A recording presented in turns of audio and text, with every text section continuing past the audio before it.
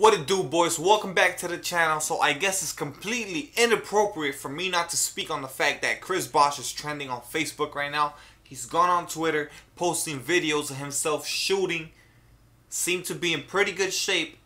He's saying that he's a hooper, and he's ready. Ready to play basketball, looking forward to this season or whatnot.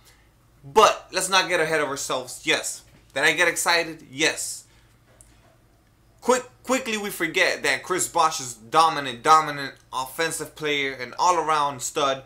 Um, very underrated in my opinion. And people are gonna say, how is he underrated? Everybody knows who he is. No, I feel like when they talk about pure talent, he doesn't get looked in that and, and spoken about in that conversation. That's how I feel about Chris Bosh. Like I think he's very fucking talented, but he doesn't get his I mean, he's made a shitload of All-Star games. He's been on USA teams and all of that. He has plenty of success and obviously people backing him up.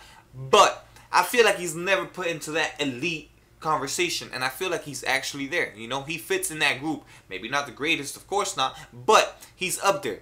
Top caliber type player. So, obviously for the past year and something, maybe almost two years already, he's been uh, dealing with the blood clots. Maybe my timeline is all fucked up. Don't don't even worry about that. The fact is, that he hasn't really been playing basketball. He's not going to be in that same physical shape. So just to see some video of him playing as a Heat fan, it's fucking, it's great. Listen, we haven't, at least me, I really haven't heard much from Chris Bosh in a while. And I follow him on every social media there is. Listen, when Dwyane Wade left, I thought, holy fuck, all we have is Hassan Whiteside. And I honestly felt like Chris Bosh might have might have been forced to retire due to all the health issues he's been having.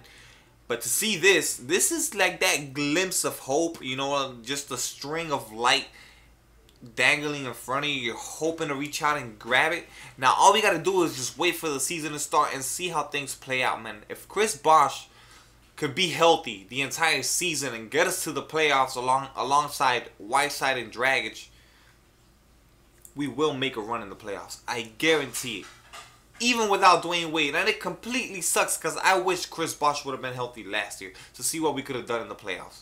Honestly, think about that. We did not have Chris Bosh and we still did pretty good in the playoffs. So my my real concern here is can Chris Bosh be healthy? A full season. We don't have Dwyane Wade and that completely just I would pick the Bulls over the Heat. I really would.